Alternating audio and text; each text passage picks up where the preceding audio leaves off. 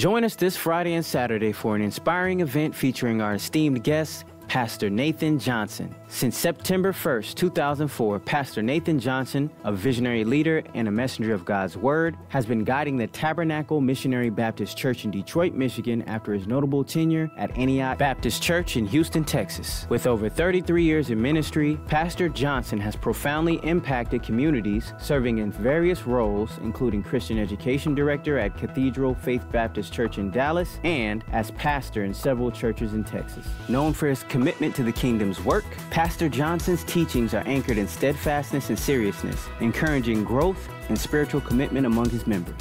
Pastor Johnson's educational journey is as impressive as his ministry, holding a Bachelor of Arts in Music and Education from Southwestern University and furthering his studies in expository preaching. He is also a recipient of honorary degrees acknowledging his significant contributions to theology and community. Beyond the pulpit, Pastor Johnson's influence extends internationally. He serves in leadership roles within the National Baptist Convention and has preached globally from South Africa to Jerusalem, sharing the good news and bringing souls to Christ. Family is at the heart of Pastor Johnson's life. Together with his wife, Sister Michelle, they are proud parents to Bridget, Zachariah, Nathaniel, and Elizabeth, sharing a life of faith and devotion.